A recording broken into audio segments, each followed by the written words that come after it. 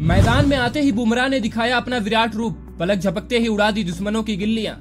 जसप्रीत बुमराह की कप्तानी में इन दो खिलाड़ियों ने की बचकानी हरकत, फिर हुआ बड़ा चमत्कार। इंटरनेशनल मैच में इन दो खिलाड़ियों ने की बच्चों वाली हरकत, कप्तान के साथ फैंस भी रह गए दंग। बूम बूम बुमराह ने ज़बरदस्त वापसी की है। आयरलैंड के खिलाफ मलाहाइड में खेले गए पहले टी मैच में टीम इंडिया के कप्तान और शीर्ष तेज गेंदबाज जसप्रीत बुमराह ने पहले ही ओवर में गदर मचा दिया। उन्होंने आयरलैंड के ओपनर एंड्रू बालबर्नी को ऐसी घातक इन स्विंगर पर बोल्ड मारा कि सब देखते ही रह गए। ये नज़ारा दूसरी गेंद पर देखने को मिला। जोश से भरपूर बुमराह ने दाएँ हाथ के बल्लेबाज बालबर्नी को ओवर द विकेट गेंद फेंकी। जैसे ही इस बॉल ने टप्पा खाया, ये घातक इन स्विंगर बनते ही तेज़ी से अंदर घुस आई और एक झटके में गिल्लियाँ बिखेर डाली। बुलेट की रफ्तार से गिल्लियाँ उड़ता देख बल्लेबाज खुद भी दंग रह गया। बालबर्नी पहली बॉल पर चौका मारकर बेहद खुश हो रहे थे, लेकिन बुमराह ने उनकी खुशी दूसरी गेंद पर दूर कर दी। आखिरकार उन्हें दो गेंदों में चार रन बनाकर पावेलियन लौटना पड़ा। इसके बाद बुमराह और घातक बन गए। उन्होंने इस ओवर की पांचवी गेंद पर तीसरे नंबर पर उतरे लॉर्कर टकर को अपनी डक पर आउट कर दिया। संजू सैमसन ने उनका कैच पकड़ा। आखिरकार टकर को डक पर पवेलियन लौटना पड़ा। बुमराह के साथ ही इस मैच के ज़रिए टी डेब्यू करने वाले प्रसिद्ध कृष्णा ने भी शानदार बल्लेबाजी की। उन्होंने पहले दो ओवर में ग्यारह रन देकर दो विकेट चटका लिए।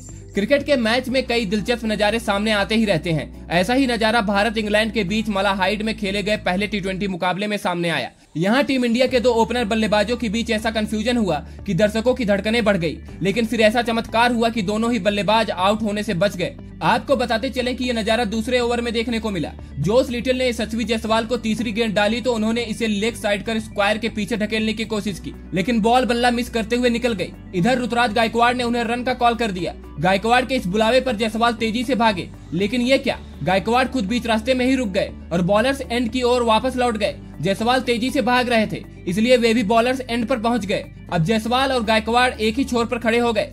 ऐसे में आयरलैंड को रन आउट का मौका मिल गया। हालाँकि स्क्वायर पर लगे फील्डर ने भी एक गलती कर दी। उसने गेंदबाज के छोर पर ही थ्रो मारा, जिससे रुतराज गायकवाड़ को दूसरी ओर जाने का मौका मिल गया। अब बॉल को विकेट कीपर की ओर फेंका गया, लेकिन गायकवाड़ ने डाइव लगाकर रन को पूरा कर लिया। ऐसे में दोनों बल्लेबाज आउट होने से बच गए। हालाँकि गायकवाड़ की इस हरकत पर लोग सोशल मीडिया पर उनकी काफ़ी आलोचना कर रहे हैं। आपको बता दें कि टीम इंडिया ने डबलिन में शुक्रवार को खेले गए तीन मैचों की टी सीरीज़ के पहले मैच में आयरलैंड को दो रनों से मात दे दी। आयरलैंड ने इस मैच में टीम इंडिया को 140 रनों का लक्ष्य दिया था, लेकिन भारतीय टीम ने लक्ष्य का पीछा करते हुए छह दशमलव पाँच ओवर में दो विकेट खोकर सैतालीस रन बनाए थे, कि बारिश शुरू हो गई, जिसके बाद डकवर्थ लुइस नियम के तहत टीम इंडिया को दो रनों से जीत मिल गई।